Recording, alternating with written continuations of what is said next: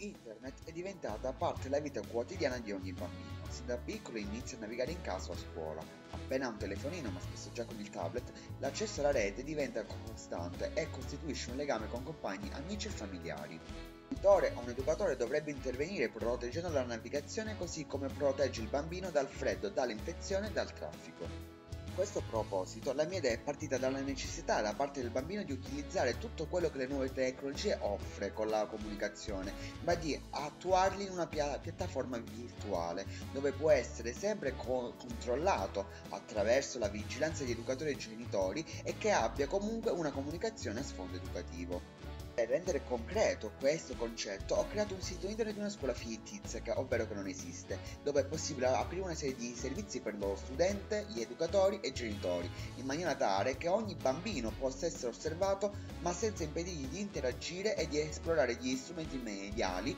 per comunicare con gli altri. In questo modo non si impara agli studenti solo il saper comunicare all'interno del contesto scolastico ed educativo con una cooperazione reciproca nella struttura docente-allievo-genitore, ma anche responsabilizzare l'uso degli strumenti mediali ad uso educativo e corretto. Iniziamo dunque la visione di questo progetto con questa immagine che sarebbe la home, dove si può vedere al centro della pagina la foto della struttura con tutti i punti di contatto e a sinistra le opzioni di navigazione. Eh, sotto ci sono le fasi interattive, ovvero il club del libro che serve appunto per promuovere alla, alla lettura e, e all'interazione dei vari punti di vista. Eh,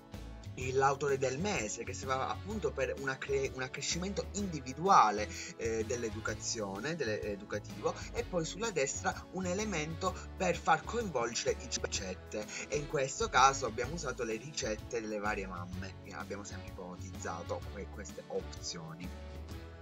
in questa sezione si possono notare le news della scuola, dove possono essere a disposizione per genitori e alunni per notifiche, informazioni e tutto ciò che può, che può essere importante per la comunicazione scuola-alunno-genitore.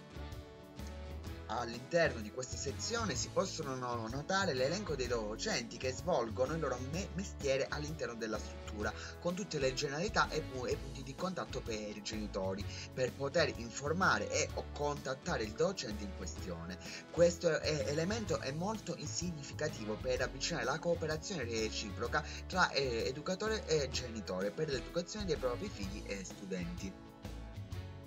nella parte con il nome eh, materiale didattico può essere utile per mettere in evidenza file o materiale per gli studenti e per avere una sorta di, di amministrazione sia come visione della struttura intesa come azienda sia come luogo dedito al diritto e allo studio.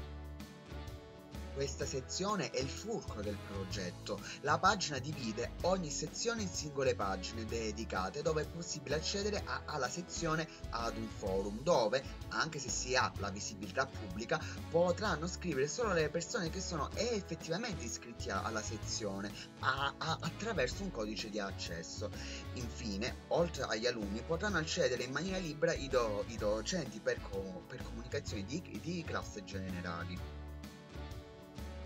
questa sezione si possono mettere in luce link molto importanti per la, la comunicazione scuola-studente e genitore, ovvero il club del libro, dove incentiva tutti gli alunni di leggere li, libri di narrativa per, per ragazzi per confrontarsi tutti insieme, e il blog Quaderni Bianchi, che è stato creato eh, per incentivare gli studenti e porre loro questioni generali ed in maniera tale di diventare degli osservatori critici della realtà, comunque potendolo fare in uno spazio protetto davanti alla supervisione di genitori ed insegnanti. Questo è un esempio di incentivo alla cultura con lo scopo educativo di comunicazione visiva e non verbale. Spero che il progetto sia stato di vostro gradimento e che sia stato evidente il ruolo educativo che gli strumenti mediali offrono in questa esposizione. Grazie per l'attenzione.